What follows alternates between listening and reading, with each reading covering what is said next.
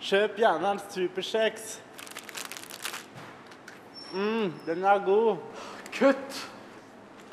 Ja, men ei, gutta. Det her blir jo ikke fett.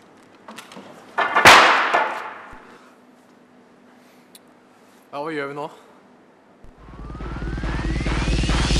Pop, pop, bang.